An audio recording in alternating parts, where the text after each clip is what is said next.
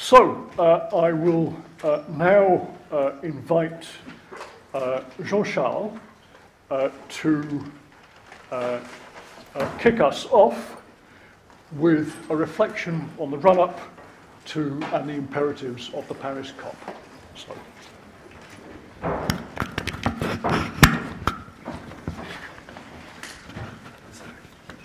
Thank you very much. So that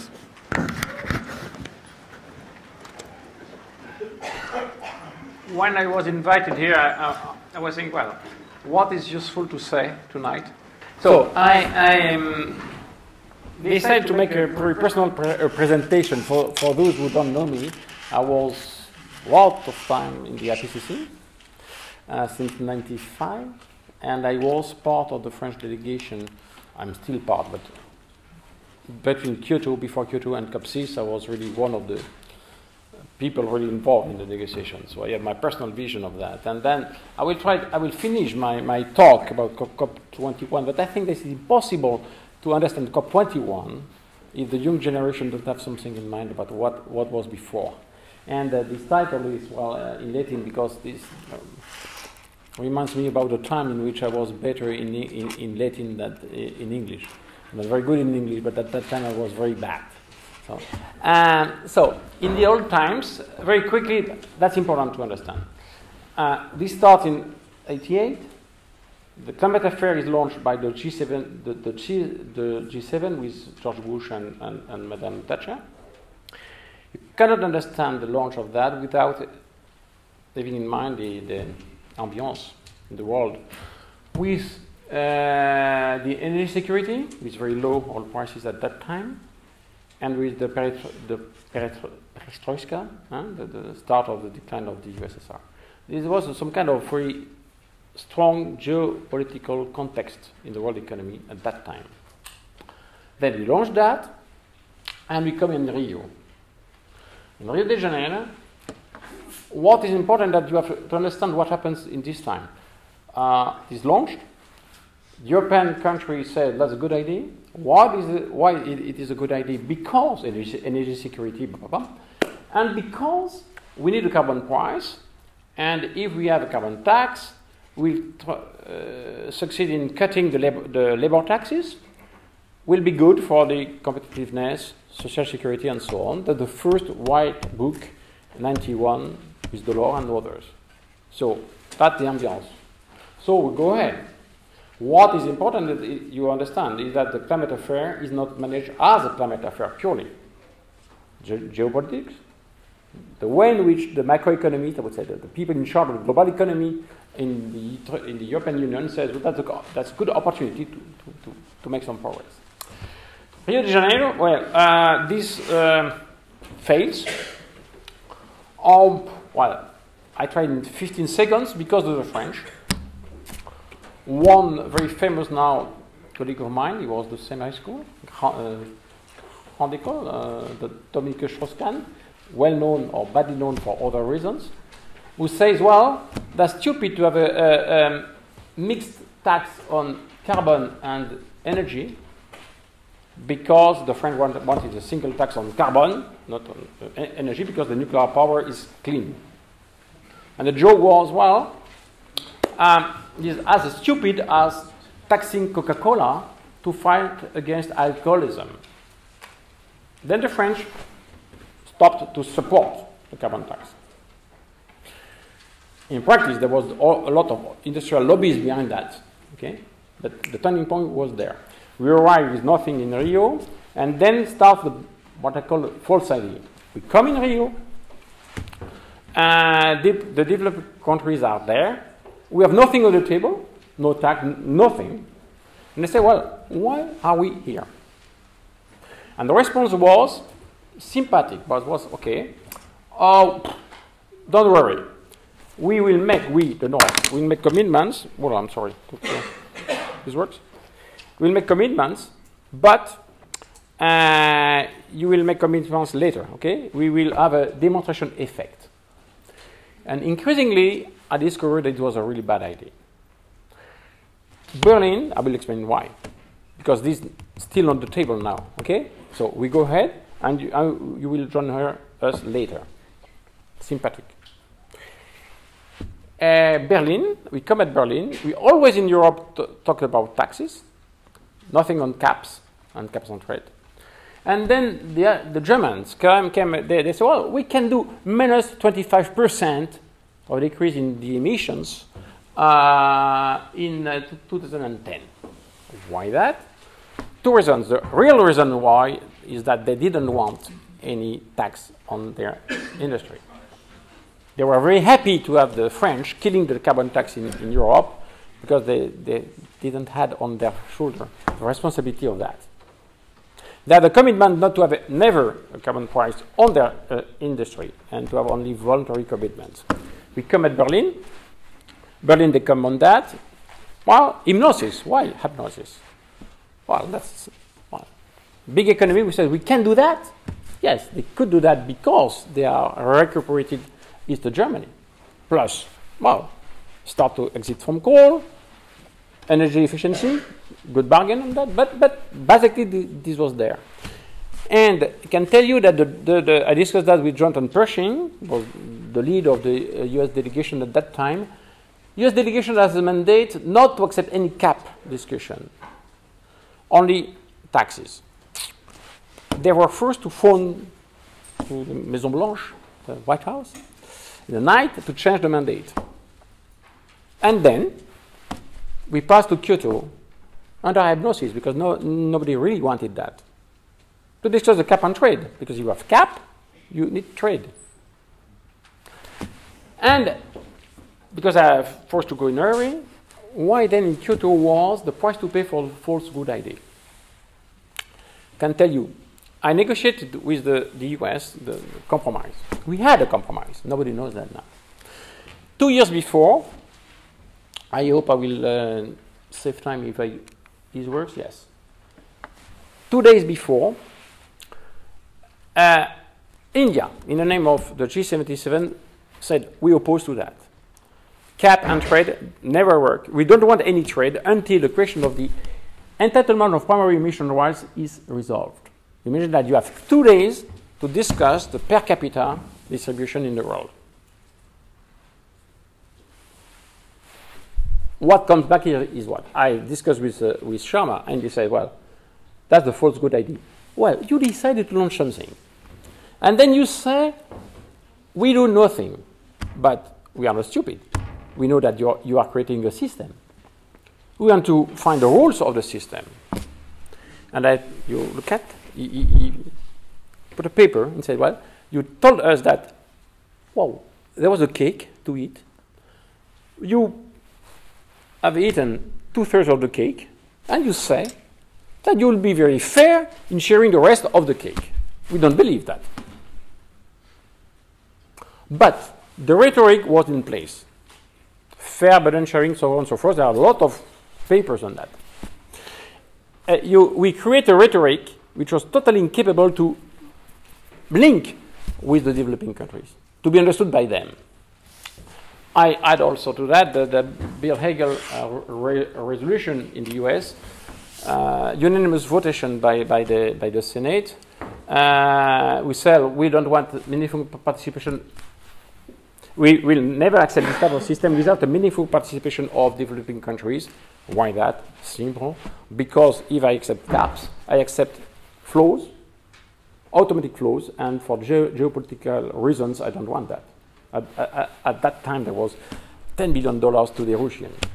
Okay. So in Kyoto, it was clear that there is a mistake made in the cap approach in the countries and the, and the burden uh, sharing approach. The problem we have is that, so I come back here, I will pass to, to Den Haag this deal, because you can write my papers on that. We, we are nearly to succeed to have something, okay, but I keep, I keep that. The problem is that we had that in mind. And we came back to, into, now we arrive at 2009. We should have said, well, we understand better why we made mistakes, what was wrong in the approach. But we didn't do that we didn't change the mental map of the, of the negotiation. When the negotiator came at, at uh, Copenhagen, they had exactly the same ma- uh, mental map. The cause of that, my personal interpretation, that this was, we were just a bit hypocritical in the mental map. Okay, it was easy to discuss about that. Uh, but we had a very easy explanation. We had the bad Bush, and then comes the good Obama. Simple. You don't have to make a lot of uh, discussions, okay? But problem, the good Obama, he had a problem with the good Obama. Because of the death of uh, Edward Kennedy, the, the share of the, the representation uh, between the, the, Democrats and the Republicans passed from 60 to 40 to 59 and 41. 60 to 40, he didn't have to ask the permission to, to the Republicans. But with the new force relationships, could do nothing. His priority was health system, and he was right. I would have been in his place, that's fine. And then we create some kind of big expectations that we lose something in Copenhagen. We should have done that. No, Obama could no, do nothing. And what I say missed step because we didn't use the really Copenhagen to revise the mental map. We did something. We created the so-called Green Climate Fund as a response to the demand of the, of the developing countries. Not bad, but always the same story. We put money and we'll share the money. Huh? The, the, the, same mistake, because then you are who pays in function of what? The CBDR pays for what? Mitigation or adaptation. And for, for what country? You can make the list of the controversies about what to do with the Green Climate Fund. And we do that in a, in a curious situation, a situation which was very adverse because we had the financial crisis in 2008. And then we say we will give a lot of money but the public budgets are, are uh, in deficit and then in practice. Uh, we will not do that. Cancun's, I call that a silent paradigm sheet. I will develop that, so that's fine. So that's the story. My interpretation is that we had a mental map adopted partly in other agnosis, and we lost. We have lost a lot of time uh, with the same mental map, and we have ready to review it very quickly. Oh, one minute to say to give the ambience. That's purely ideological, but that's important. Raul Estrada, when he invented the CDM, uh, to go out of the crisis created by the Indians, he, put the, the uh, he, he, he wrote that three months later. Look at the end of these sections. This disparity has been at the root of every colonization since the time of the Greeks, which is a very strong uh, sentence, which is uh, the post-colonial countries against us. Okay, you know, that's this was not the reality, but this gives something which is in the mind of the people who are still there around the table. Okay, so now I come back to Cancun. Cancun, we say, well, we want we get rid of the burden sharing paradigm.